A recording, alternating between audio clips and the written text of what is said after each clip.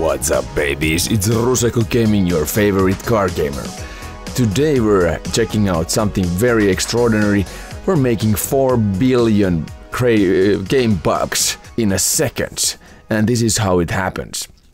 We are here in the garage and we have to customize almost any car. In this case we have BMW M5 but we are gonna burn our money first. I have 3000 bucks here and I need to burn it down all the way so I'm gonna make this car uh, an anodized bronze color. It costs 3000 then we have 300 left and we will also customize a bit more to lose more money and we're gonna change the rims let's go change the rims let's make them uh, we can make it black, yeah, and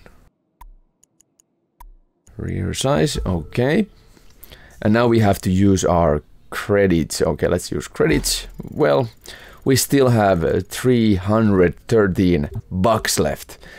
And now, finally, we just put some interior style here. And this is where the glitch actually happens. Let's change this to wooden. And now when we apply this without any money, it instantly gets us $5 billion. Okay, that's it for this episode.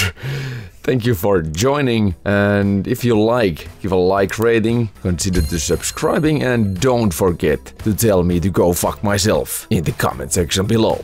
See you in the next video.